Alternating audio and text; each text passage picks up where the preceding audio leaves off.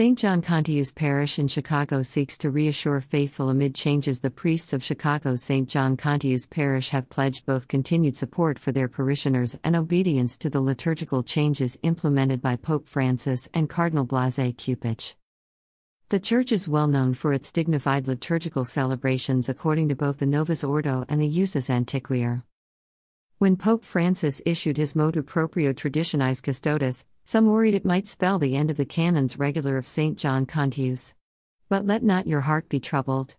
We're not going anywhere, Father Joshua Caswell, Superior General of the Canons Regular of St. John Cantius and pastor of the Westtown Chicago neighborhood St. John Cantius Parish, said January 16 at the 7:30 a.m. Sunday Mass. We fully acknowledge that many of you have endured a heavy cross and have been preoccupied by confusion, uncertainty, and sadness, Caswell said. Each of us, brothers and priests, have shared a great deal in these emotions, and we carried that same cross right alongside of Youth Canons Regular, founded in 1998, follow a form of vowed religious life that celebrates both the Tridentine and the post Second Vatican Council forms of the Catholic Mass. In addition to St. John Cantius, they work in the Chicago Archdiocese at St. Peter Parish in Volo, Illinois, a village to the northwest of Chicago. They also staff a parish in the Diocese of Springfield in Illinois and a chapel in Michigan. We are committed to continuing our ministry to you, to restore the sacred in all things, Caswell told the congregation Sunday. The canons regular are just as committed to filial piety for the office of the Archbishop of Chicago and the Bishop of Rome. Last month, Cardinal Cupich issued a policy for the Archdiocese of Chicago that curtails the celebration of the Mass and other sacraments according to the Usus antiquior. The canons regular celebrate both forms of the Mass, including the rarely celebrated Latin language ordinary form of the Mass.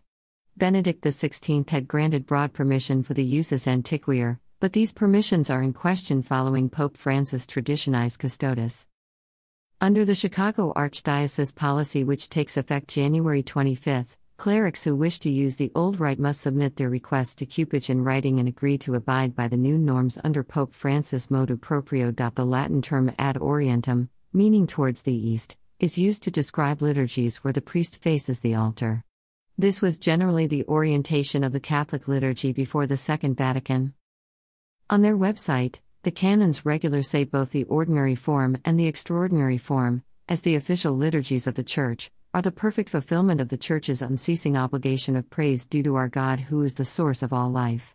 They are the center of our spirituality and religious life by being for us the primary means by which we are daily drawn closer to God. In a December 27, 2021 statement, Caswell said he had an audience with Cupich on December 23, in which he assured the Cardinal that the canons regular are committed to unity with the Archbishop and the Pope.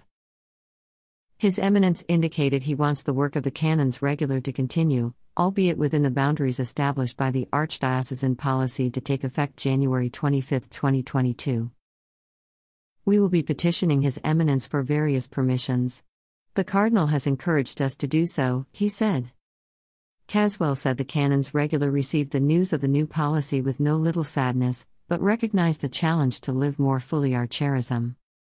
In this moment, we are prayerfully discerning how to be a bridge for unity in the life of the Church by faithfully implementing the Archdiocesan policy in accord with our spiritual and pastoral patronage, as well as the guidance of the Archbishop of Chicago, and at the same time remain faithful to our mission, Caswell said in the message.